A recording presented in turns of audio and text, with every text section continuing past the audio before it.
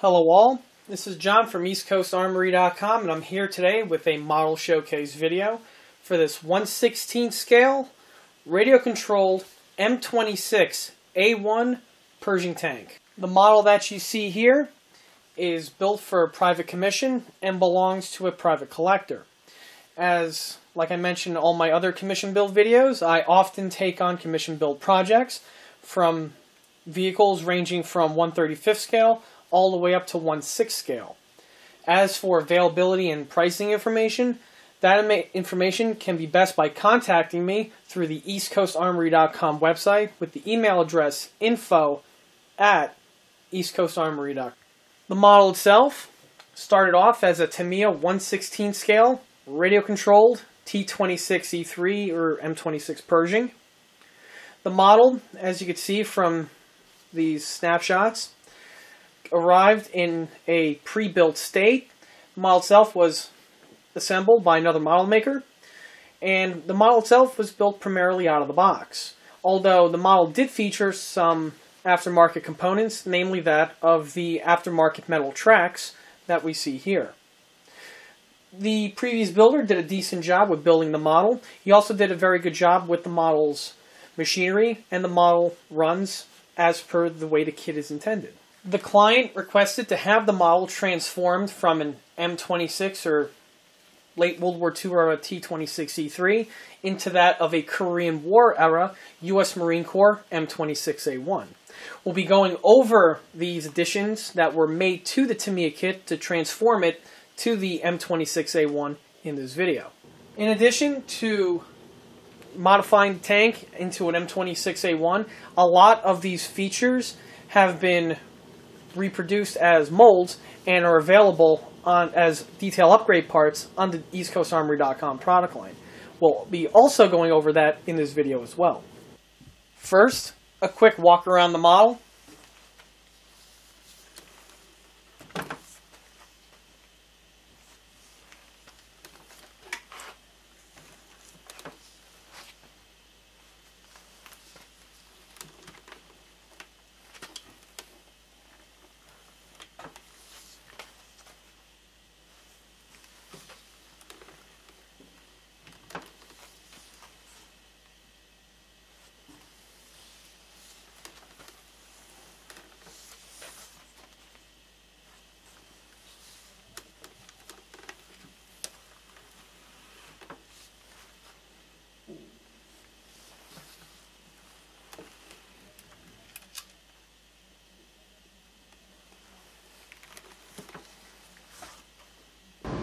Starting with the model's running gear, the model features the stock Tamiya functional torsion bar suspension.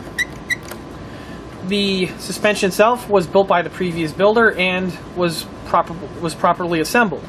The only addition that the previous builder added to this vehicle was the addition of the aftermarket track. The as we all know, the stock Tamiya kit comes with the steel chevron style track links as that are made in plastic, and on the aftermarket scene there are these workable die-cast versions, which represent that of the double rubber chevron style track links themselves are nicely done in that they're they have good detailing to them, and also add a little bit of weight. The added weight helps with the sag of the track, as well as it also gives the model a little bit more realistic movement. And with the added weight, the model does perform better while running off-road. One thing to watch out for with these metal tracks, which are patterned after rubber links, is that if you're running the model on a hard surface, the paint will wear off on the chevrons and bare metal will be exposed. Since the track is made out of rubber on the real tank, the bare metal can lead to a continuity error, which can hurt the look of the vehicle. Because of this, I always recommend running tanks with this type of metal track on hard surfaces at a minimum. Starting with the front plate, we'll go and start going into the M26A1 conversion. The most notable difference between the M26 T26E3 and the M26A1 is that of the design of the front blower.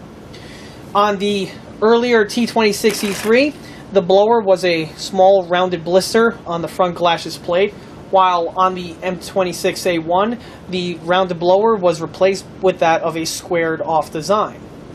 This squared off blower here was modified from the kit original rounded one and was sculpted in the shape you see here with that of epoxy. To get an idea on how much different the front bow is, I have here next to this model that of a stock Tamiya T26E3. If I zoom into the rounded blister, you will see the shape change compared to that of the M26A1's squared off appearance. In addition to this squared off front blower, another feature that distinguishes this vehicle from that of the earlier T26 E3 is that of the deleted backup periscopes. On the first 20 or so T26 E3 Pershings, on this section here of the hull are two backup periscopes that are found in this location here. The purpose of the backup periscopes is in case if the main periscope gets knocked out or goes offline, you have two spare periscopes to help you out. This feature was deemed to be too redundant and so was dropped on the production version of the M26 Pershing, not to be confused with the T26E3. This feature then carried on into the M26A1, which is what we have here. Just like with the blower, compared that with that of the stock Tamiya T26E3, you'll see the difference with the extra two periscopes compared to the deleted versions. Makes this model M26A1 compared to the standard M26 Pershing is that of the fender mounted turnbuckles. The turnbuckles are found on the, both the front and rear portion of the fender work. These turnbuckles are a feature that is missing on the T26 E3 Pershing. The purpose of the turnbuckles is that shortly after the T26 entered service, complaints came in from the field that the because of the size of the fender work and because of their location, they were deemed to be very fragile and were not as strong as they should have been. A quick retrofit design was that of the turnbuckle. Turnbuckle added once added, gave some more strength to the, both the front and rear portion of the sheet metal work. These turnbuckles are a common feature on M26A1s and carried over into the M46 as well as M47 Pattons. The turnbuckles themselves on the front of the vehicle affixed to the two lift hooks that are found on the bow portion and they are fixed via a small little plate which would have been welded to the lift hook to which the turnbuckle would then simply mount to. Turnbuckles that you see on this model are scratch built out of metal and are all soldered together. The purpose of soldering them all together is that it gives the turnbuckle, which is a very fragile piece, a little bit more strength and robustness, which will help since that this vehicle is radio controlled. Moving our way to the back portion of the vehicle, we have some more M26A1 type modifications. Starting with the braces that we have here on the final drives. Another issue that was reported when the T26E3 entered service was that of the final drive.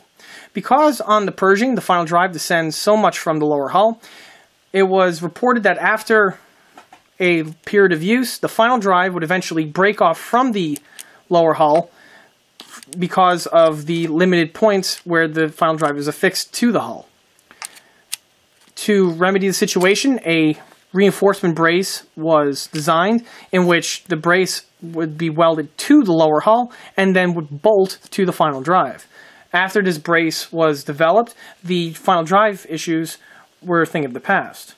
These final drive braces that we see here are a detail feature which is found on the M26 as well as the M26A1 Pershing.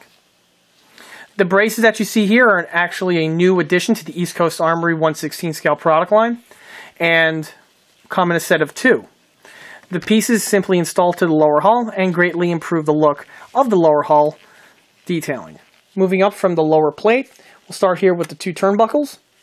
As was mentioned before, turnbuckles were also added to the rear and serve the same function that they give the rear fender a little bit more rigidity.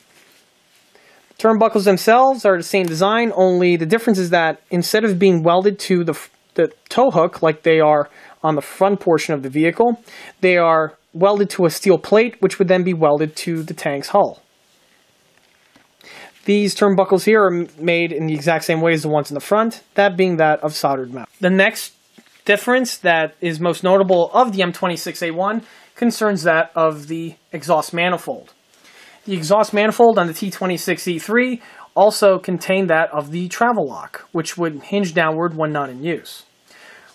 Shortly after the T26E3 entered service again, complaints followed that the casting of the exhaust manifold, because of the heat, would become weak and the travel lock hinging mechanism would crack under stress.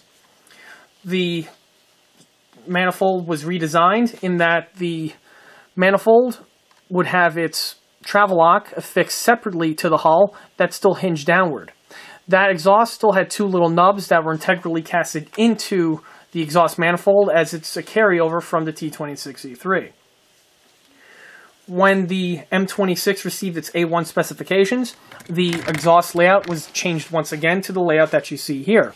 If we notice, the exhaust does not have the blisters anymore, and the hinged travel lock was completely replaced with a travel lock that was mounted to the top deck over the radiator armored covers. The travel lock itself still featured the same design. It still had the same top hinge part and still hinged open in the same manner, only the bottom portion was that of a new casting as well as a hinge mechanism. In addition to the hinge mechanism that's found on the travel lock, the exhaust manifold also had a hinging feature. Located on the bottom portion of the exhaust manifold is a small little integrally casted hinge. This is a carryover from the T26E3 in that due to get access to the exhaust system, you would remove the mounting bolts and the whole exhaust would hinge downward. This feature was also found on the M26 with the externally mounted swivel travel lock. However, on the M26A1, that hinging feature was deleted. However, even though the hinging feature was deleted, the small little hinge nub was still present on the casting. The M26A1 exhaust manifold and top-mounted travel lock are also a new addition to the EastCoastArmory.com product line. The two pieces are offered in a set together, and the set comes with both the exhaust manifold as well as the top-mounted travel lock. The set's travel lock comes with the bottom portion here, as well as the hinge and the small metal handle. The kit is designed to utilize the top hinge portion as well as the hinging blocks of the Tamiya kit original. Because it utilizes the same components as the Tamiya kit, the piece is just as functional when assembled as the Tamiya kit original one is. hinges open, and as well as it also retracts in the closed state. For a quick comparison, here goes the M26A1 converted tank with the separate travel lock and exhaust manifold and bottom final drive braces compared to the stock Tamiya T26E3 vehicle without any final drive braces and with the original style travel lock exhaust manifold system. Moving our way to the model's grab handles. This model features aftermarket metal grab handles from Schumo kits. The grab handles themselves are a nice easy addition that really help the look of the bins over the molded in ones which are found on the original kit. Schumo editions are also nice and handy in case you're doing a Heng Long rebuild, or even if you are working with a pre-built second-hand Tamiya Pershing in which the original separate grab handles that were supplied with the kit are no longer present. Moving our way to the front, the model features a replacement fire extinguisher box the original fire extinguisher box was missing when I received the model, so a new one was fabricated. In addition to fabricating the new fire extinguisher box, I also added the fire extinguisher handle and painted it red, which is typical for American tanks. In addition to fabricating the fire extinguisher box, I also fabricated the metal brush guards, which are found on the two bow hatches, as well as the top hatch. There are aftermarket ones available by Schumo, however, the ones that you see on this vehicle are all scratch built on a metal wire. like on the Tamiya kit original, the hatches are designed to be fully functional and do have their internal detailing. The internal detailing was all painted, like you see here. Just like with the standard Tamiya, under the driver's hatch is your power switch. However, I modified the vehicle in that under the assistant driver's hatch is the actual recharge jack in which you can recharge the battery of the tank without having to open up the turret or get into the hull. To get to the recharge jack, I simply open up the hatch and with a tweezer or a plier, I pull out the recharge jack from its location. I pull it out and from here I can connect the battery to the model's recharger and recharge the, recharge the tank without having to open it up. After the model is done recharging, I go ahead and stuff the wires back into the vehicle.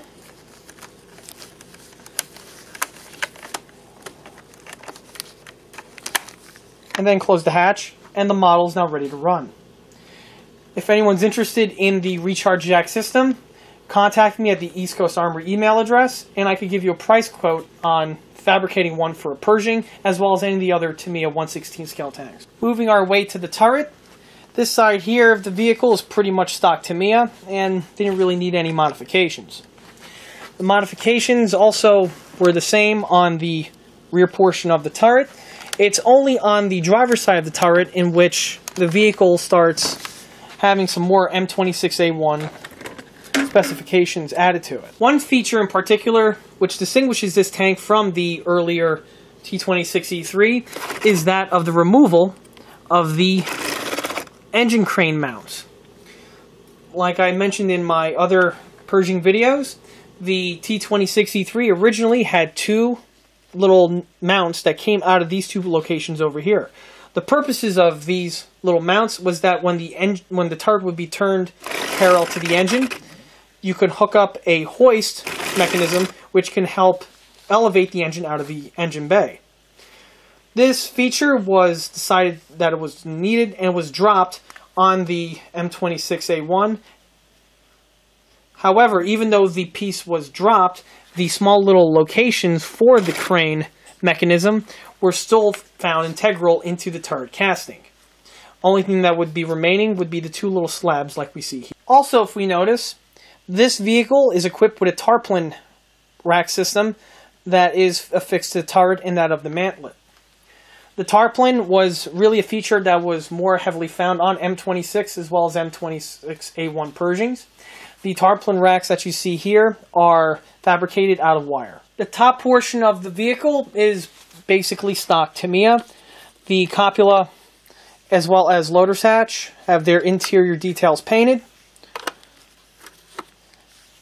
However, some pieces were missing when I received the model, namely that of the vane sight, as well as the small little handle for the searchlight. The vane sight, a new one was fabricated out of plastic and metal, and as for the searchlight handle, I instead of fabricating a new handle for the searchlight, I went ahead and fabricated the cover cap, which would have been placed over the searchlight when not in use. Because of the searchlight's fragile nature, that was often stored inside the vehicle, and to prevent water from entering the vehicle, a small little cap would be positioned over the mounting for the searchlight. Moving our way to the rear portion of the turret, another modification was made. Since this tank was built out of the box Tamiya, you will know that Tamiya gives you a nice detailed MP48 spring antenna base. However, they want you to mount the model's aerial antenna for the radio over this location here. On the real tank, this location would be for an extra radio antenna base. Rather than trying to break into the turret to move the antenna to a different location, I went ahead and put over the stock to, the stock Tamiya antenna that of the EastCoastArmory.com MP48 spring antenna base. Like mentioned in other videos, the antenna base is another addition on the EastCoastArmory.com 116 scale catalog. Moving our way to the model's M2HB heavy machine gun. The model features the standard kit of the M2HB. To me, M2 is a nicely detailed piece. However, on this model, the previous builder went ahead and permanently glued the mount to the M23 cradle to that of the turret. While working on, it, I was able to separate the two, modify the gun so that it's still able to rotate on the pintle mount like you see here. Another addition that had to have been modified was that of the carry handle for that of the barrel. This is a very fragile piece found on the Tamiya kit, and it's not uncommon to have this piece broken off when you're working on a pre-built or a second-hand vehicle. The carrying handle was fabricated out of wire, and two small micro holes were drilled into the barrel in order to affix the new carrying handle. Unfortunately, the top cover was not able to be salvaged with its functionality, so is permanently glued in the closed state that you see here. Moving our way to probably the last feature that distinguishes this vehicle as an M26A1 is that of the M3A1 90mm gun. The original T26E3 Pershing had the M3 90mm gun, which featured that of the double baffle muzzle brake. When the vehicles were upgraded to M26A1 specifications, the gun was replaced with the A1 version. What distinguishes the A1 from the standard M3 is that of the bore evacuator, as well as the single baffle muzzle brake as opposed to the double baffle muzzle brake. This bore evacuator and muzzle brake setup that you see here is another new addition to the EastCoastArmory.com product line. The two pieces are sold in two different versions you have just the muzzle brake alone. This is intended for those who have the M3A1 aluminum barrel, which was sold on the aftermarket scene a few years ago. Or you can get it with the bore evacuator and modify the kit original aluminum barrel that you see here. The way to modify the kit original barrel is you measure out from the bore evacuator how much of the barrel you need to remove and then with a tubing cutter, you can go ahead and cut off the section of barrel that's no longer needed. Once the barrel section is removed, you simply slide on the new barrel assembly, and your gun is now that of the M3A1. Also, as of note, the, the Pershing M3A1 barrel actually received two types of gun muzzle brakes. This version here is the most earlier version, and then there was a later design. The first version was basically the double baffle casting that had the outer baffle machined away. And then the second pattern was that of a more refined and designed double baffle muzzle brake. Both muzzle brakes are correct for the Korean War time period that this vehicle represents. And as a final comparison, here we have the M26A1 turret with crane mounts removed. With the M3A1 90mm gun compared to the T26E3 turret with crane mounts fitted and standard M3 90mm gun with double baffle muzzle brake.